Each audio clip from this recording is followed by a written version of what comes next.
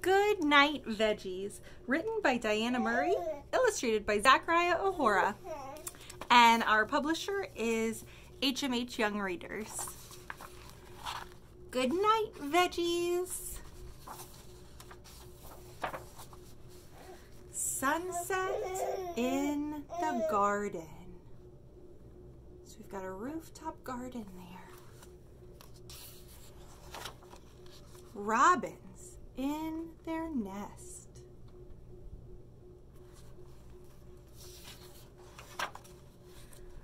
Tossing, turning veggies need to get some rest.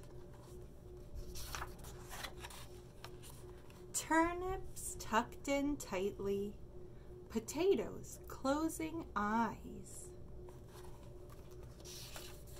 And we said that's clever because when little sprouts form on a potato, we refer to those as eyes. Tuckered out tomatoes, humming lullabies. You guys notice this little earthworms on every page? Cuddly cauliflowers, droopy pods of peas. Now, earthworms actually help improve plant growth considerably. Fun fact, I did a science fair project in middle school about how earthworms affect plant growth.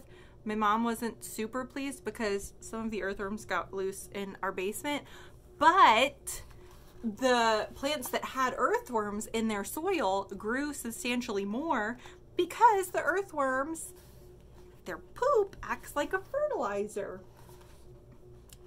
Just a, another fun fact for you. Cuddly cauliflowers, droopy pods of peas. Rhubarbs reading stories to worn out broccolis. Baby carrots snuggling. Baby lettuce too. Baby eggplants dreaming.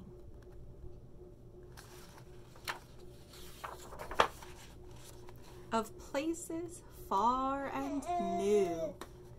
So they're on a delivery truck, going to an eggplant stand.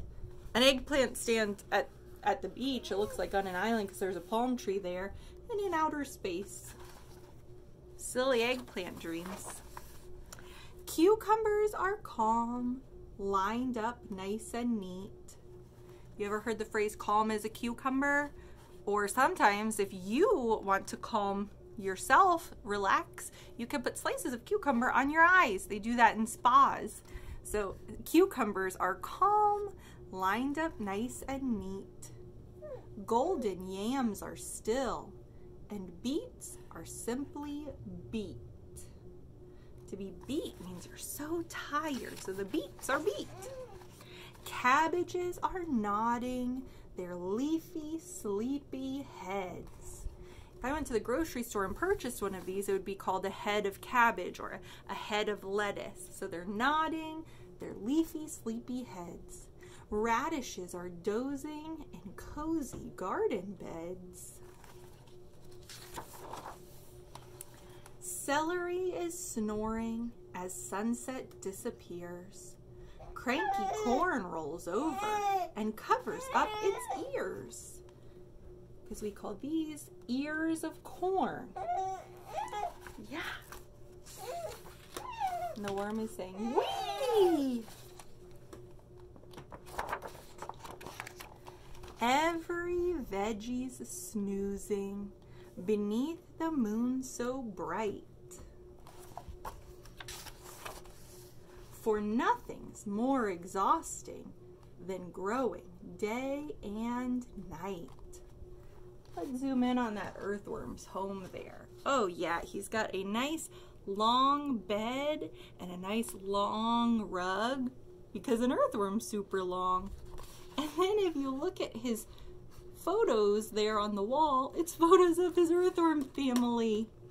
I like that he has a book on his nightstand too. He's he's a reader, just like you. Good night, sleepy veggies. Sleep tight. Do know, this is a solar panel that soaks up the sun's rays and turns it into energy.